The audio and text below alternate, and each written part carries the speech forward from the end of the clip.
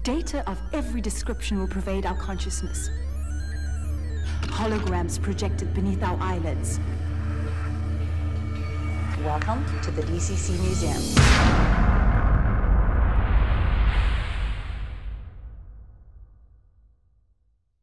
Hi and welcome back at the museum. Today we're visiting beautiful Lisserbroek in the Netherlands. We're visiting Ben van Halle who tipped us that he was able to replace the pinch rollers on portables. He has a whole collection, so he's sort of a specialist in his field and today he's going to show us how he's actually able to replace the pinch rollers on any Philips or Panasonic portable DCC player. Rolf, this is a marvelous player, the DCC 175. It really deserves good quality pinch rollers. Um, the way we change those pinch rollers is as following. We start removing all the necessary parts. At first we start with the bottom. We undo all the screws in the bottom.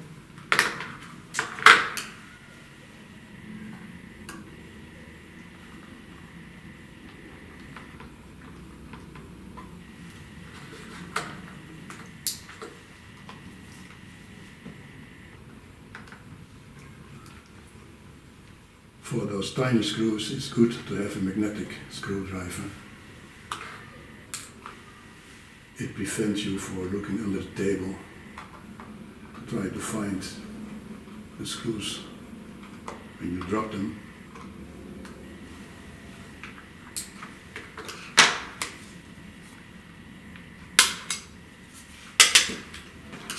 Then we remove the back plate. Normally it's not necessary to unscrew all the screws because sometimes they you can they're fixed in the in, in this in this plate, but not with this one. So.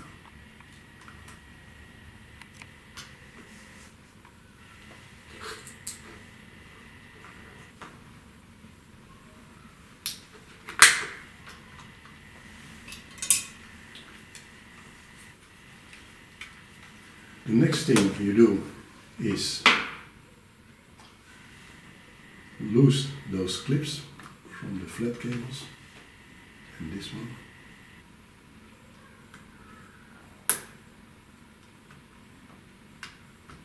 Be careful, they are very brittle. Here is some glue that you can loose the glue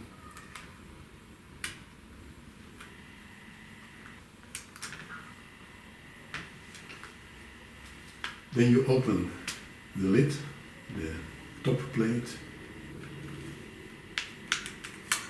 because there are also screws in here.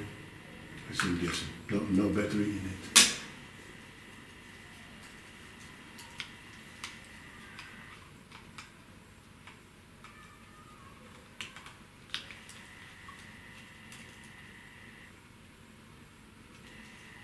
DCC museum has good spare batteries for you if you need them.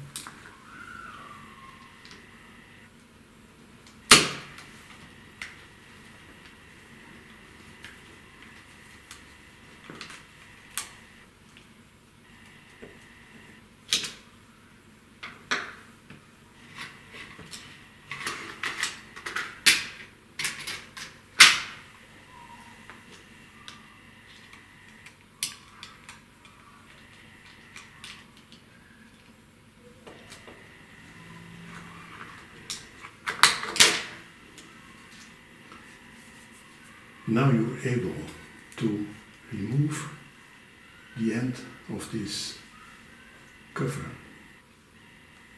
this boxing plate with your nails.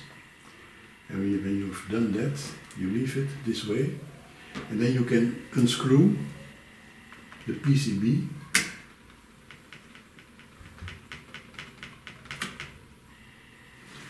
and always use the copper colored one to replace it here. Keep that in mind when you're assembling all parts.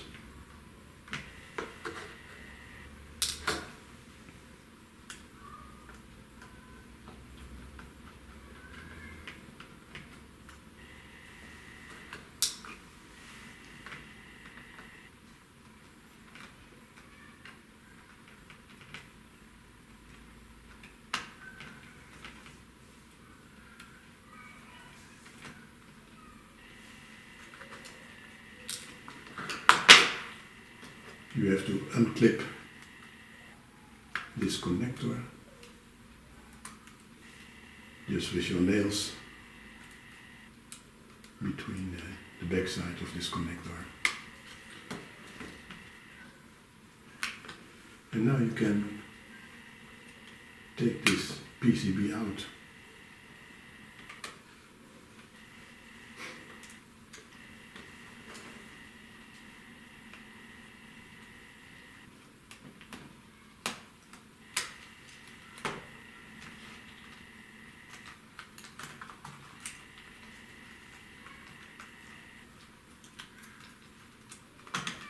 Always be careful with this flat cable.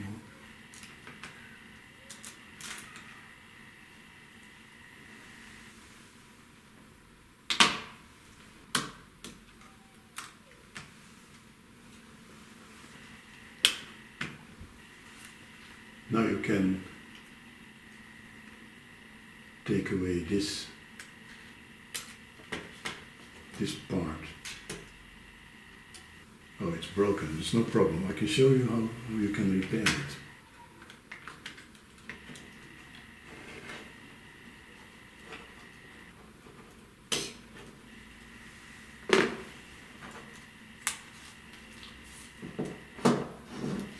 Lay it down this way.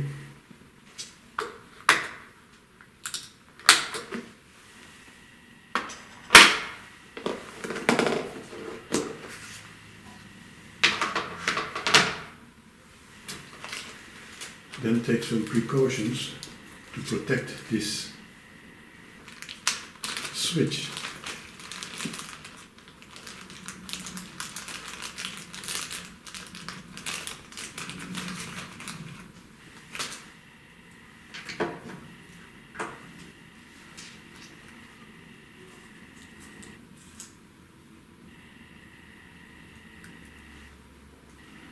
So Is this a, a Ben custom? Yes, it is. It's a piece of paper with a piece of tape. Now we can remove the top plate with the LCD screen.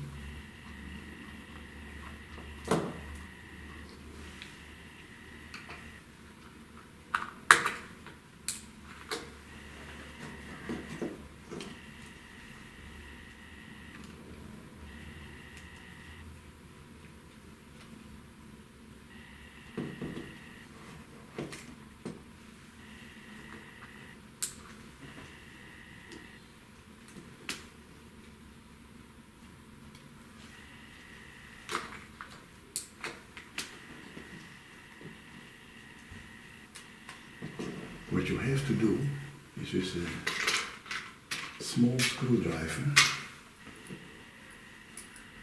to place it underneath this hinge and then it's possible to remove the lid.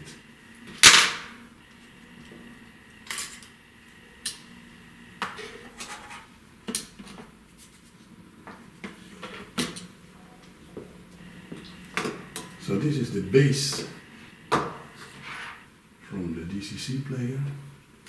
The next thing you do is take a piece of tape, because you need it, to take this spring-loaded arm to fix it. Because you have to be to remove the screw from the hinge. It, had, it must be possible for you to reach that. Because we undo those screws from the hinge. To remove the head block SE, So explain to me again why why this piece of tape is, is here? otherwise if you don't place it here, hmm it's nearly impossible to get to, to go with your screwdriver to that screw. Okay. That's the that's why you, Okay, interesting. you that's why you block it. Mhm. It makes the work somewhat easier. Um, the next thing you do, you unclip those flat cables from the head block SE. Be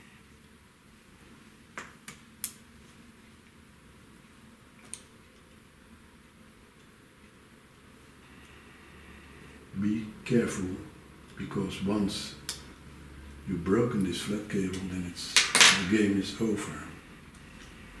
Then you have to try to find a new head block SE.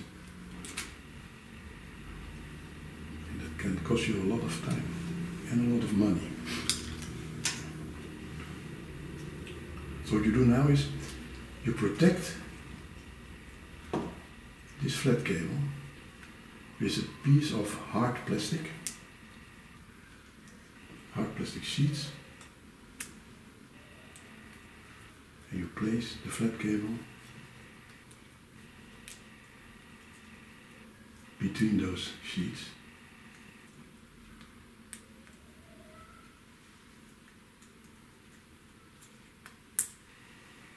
And there's another piece of tape to fix it. And then you have the possibility with a block of wood to place it over the edge. And now you can simple unscrew both hinges.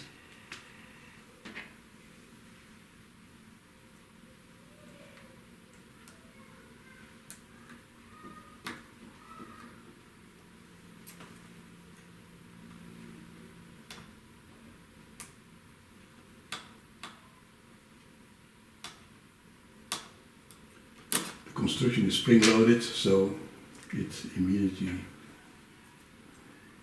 comes from the base plate. And that's it.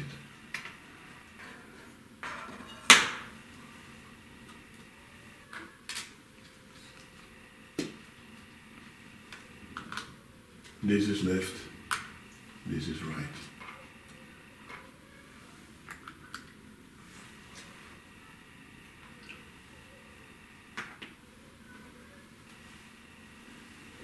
These are the pinch rollers. You can uh, remove the pinch rollers with a paper clip. It's special, it's some special tooling, but you can make it yourself. This is it. And now you can remove the pinch rollers. Because it paper clip has the same diameter as uh, Sometimes you need a little help. It's a tiny screwdriver.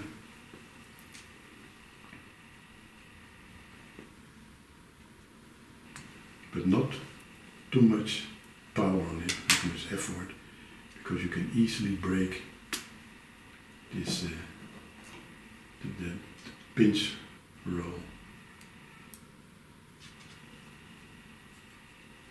block.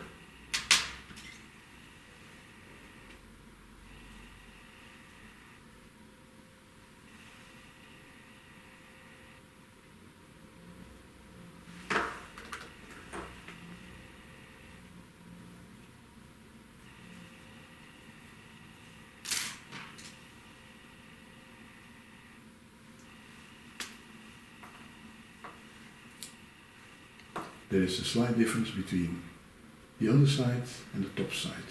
The top side is completely round and on the bottom side there is a flat flat place, flat side on the axle. And now the other one, also be careful with this uh, flat cable.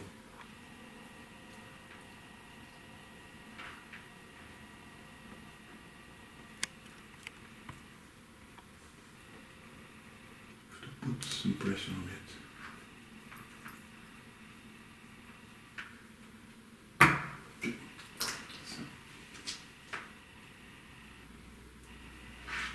So you're removing both shafts so that pinch roller can come free. That's right.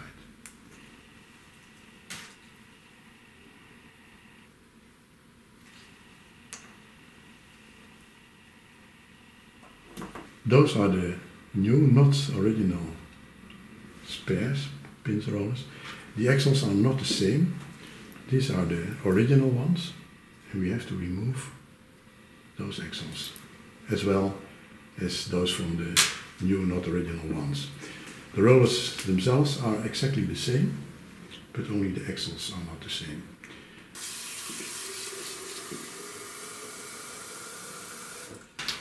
The boiled water,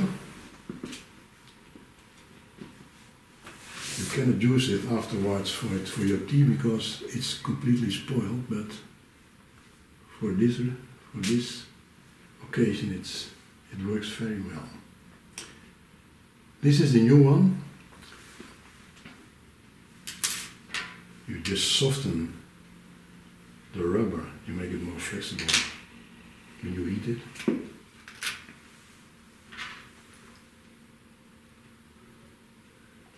Sometimes you need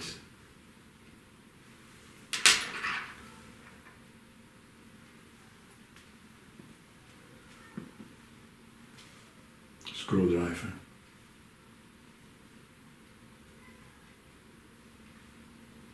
To make it possible to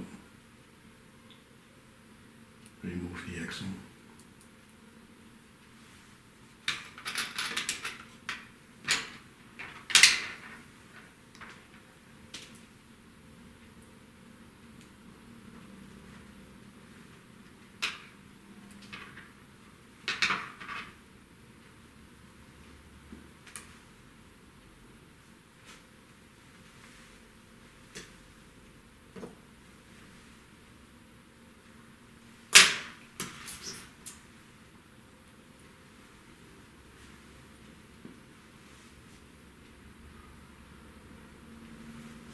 This is a paper clip.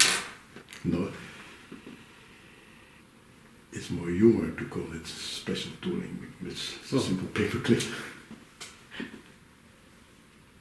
Uh, when you assemble this pinch roller, you have to look forward to see that this is above and this is the underside. The new pinch rollers, the old axles, Mhm. You take some water, put it on the axle, then it then you can slip it easy into the roller. Normally. And luckily also now, then it's uh, fixed for the next 20 years.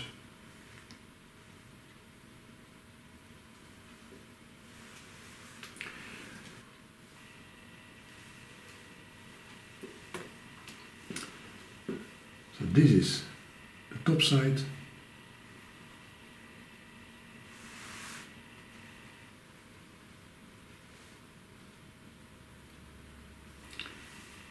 And now you can place the axles.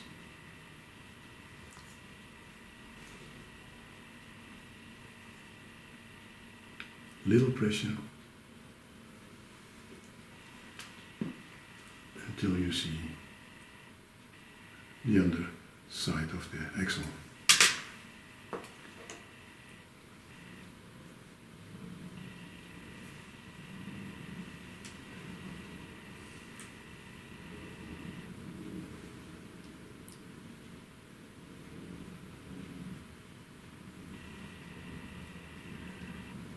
And now it's fixed.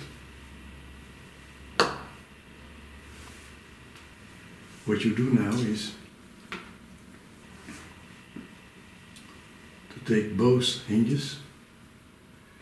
You have to look at the hinge has to go in this little hole on the right side and this little hole on the left side.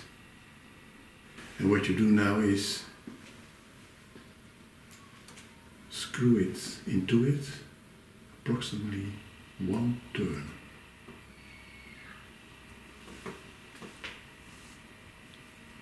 So it's a bit fixed, one turn. And you do it the same with this side, also one turn.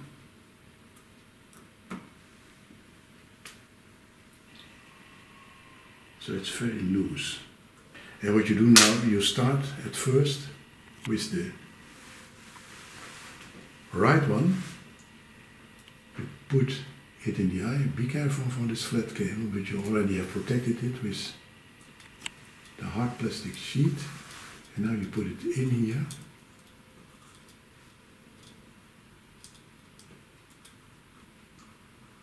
You can feel it.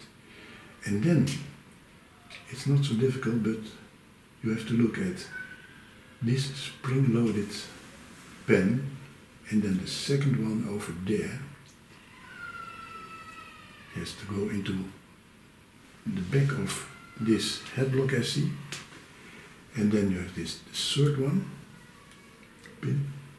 And now you must put this hinge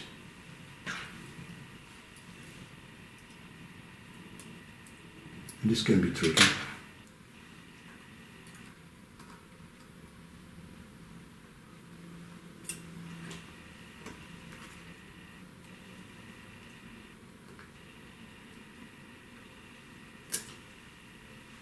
So, now you can see where, why it is necessary to place a cover on this switch, because you can easily damage it when you're working with this tricky part of fixing the head SE. And that's why you need this block on the back side. You can see when you are busy with it, it's, uh, it's impossible to crack it. And it's fixed now. Just check the screws.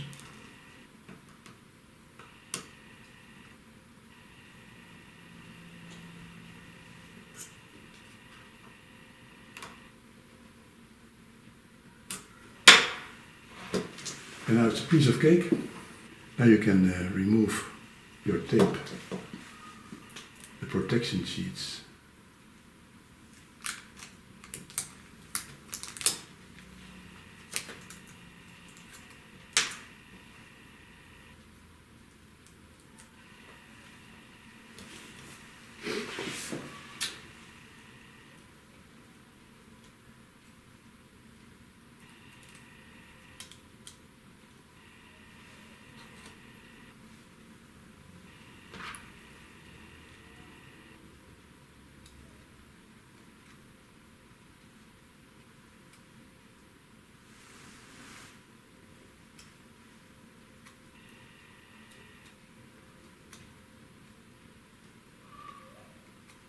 Now we can assemble this part, the lid, top plate with the LCD screen,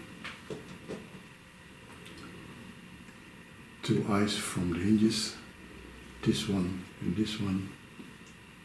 You click it to this point to look at this part and this pin pin has to slide under this place.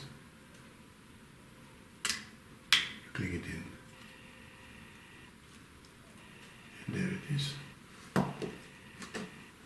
There is a difference between this screw, this one is the head is somewhat bigger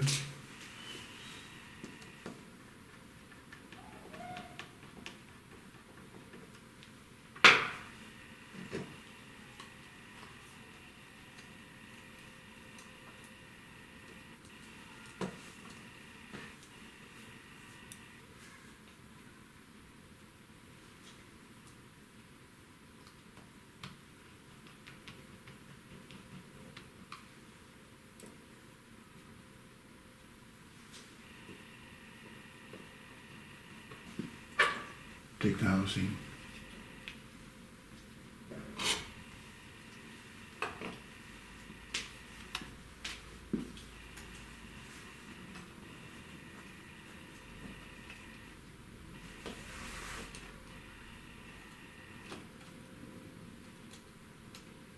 We uh, positioned the housing, but I promised that I would tell how to repair this broken lid, this broken part from uh, the housing. And I do it with methyl ethyl ketonate, it's Dutch. Also, also as MEK. It is not necessary for the player, but when you repair such a thing, do it with quality. And that's what we're doing now.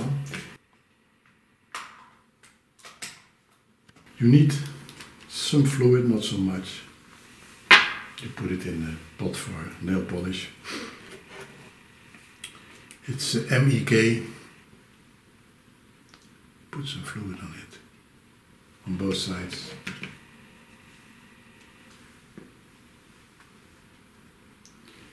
It softens the plastic.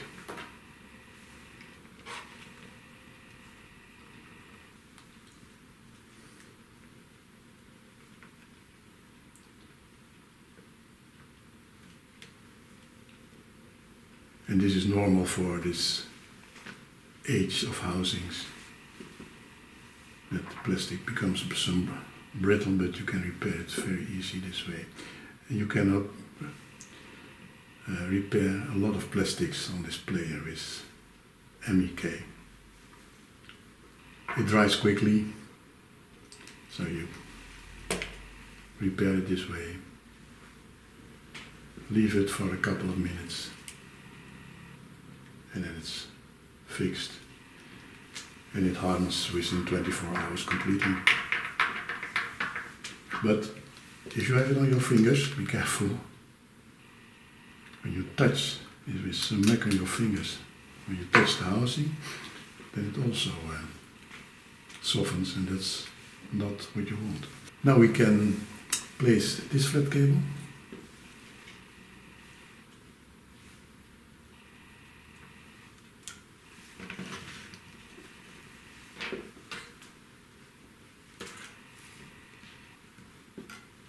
we can reposition the PCB. What you have to do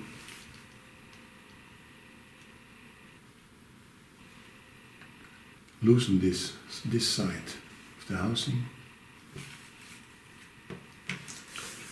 Then take a good look at the switches.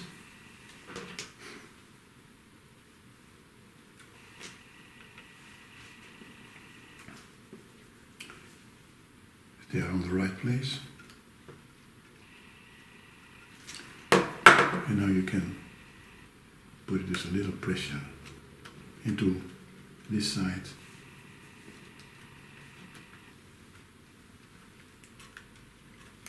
Put in the flat cable.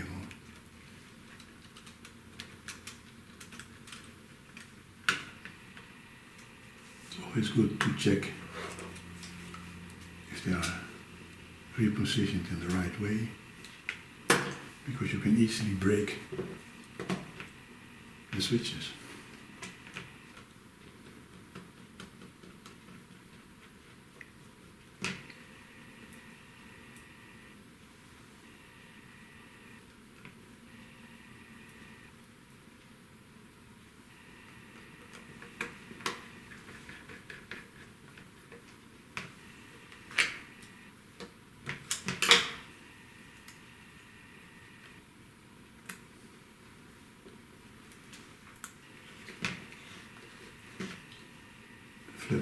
Always has to slide very easy in the housings, in the connection.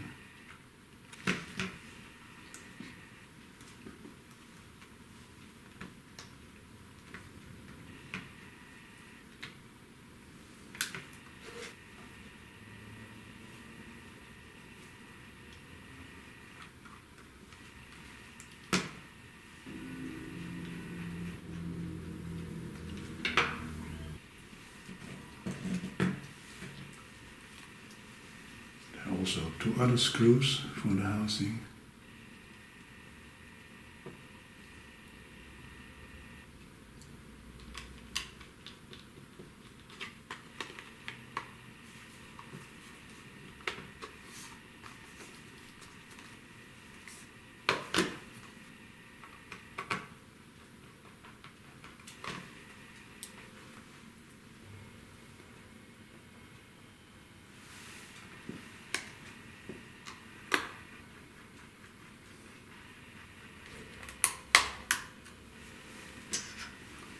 The lid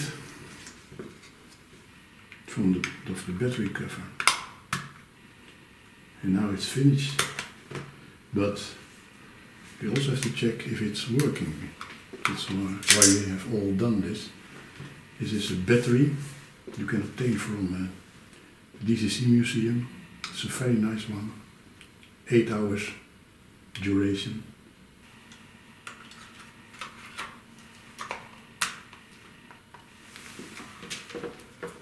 Works.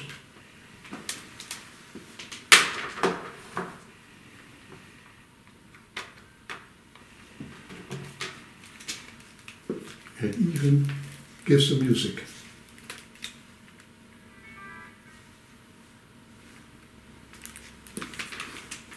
It's that's it.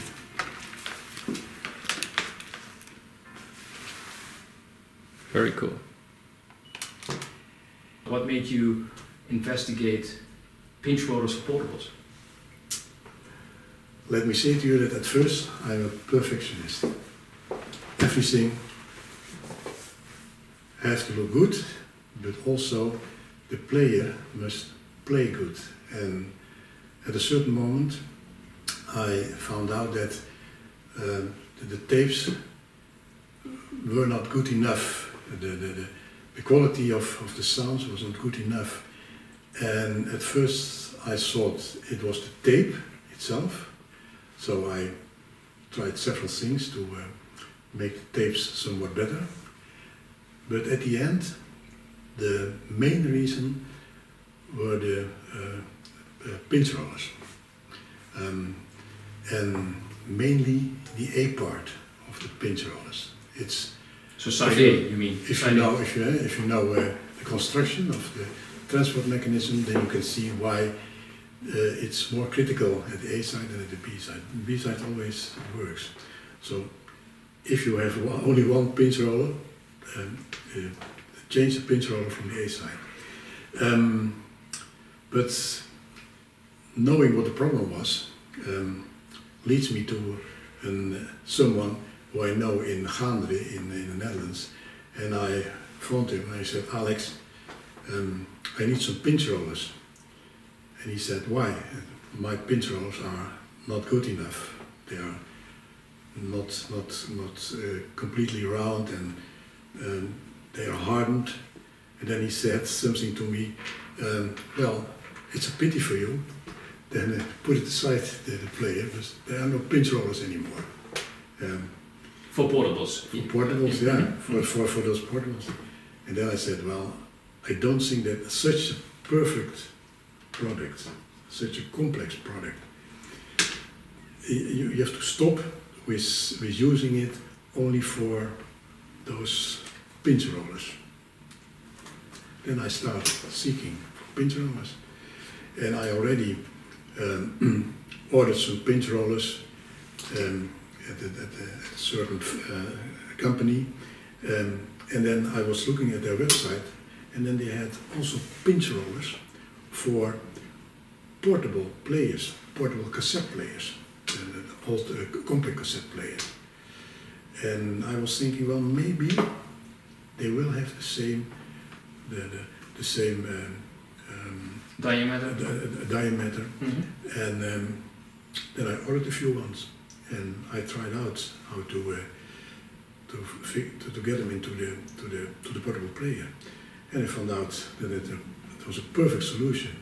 Just take out the, the, the axles, the nylon axles inside it, and uh, put the old axles from uh, from the pinch in, into it, and you have a perfect a, a DCC player again. And that was also my main goal to have not only at the outside a good player, but also on the inside. Technical, perfect product. And that's uh, how I found out. So the, um, the, the, difference, um, we talked a little bit before this, is that uh, every pinch roller in a standard player would cause dropouts. Um, a, def a defect or a, a, worn pinch roller in a portable, in your investigation, did not cause dropouts, but it caused track information to be lost right. time or track information from the artist. Yeah. And after you replace the pinch rollers, because you, you got quite a few, uh, two, four, six, seven, seven uh, portables, the ones that had this problem, the problem disappeared after you replaced the pinch roller. You're right.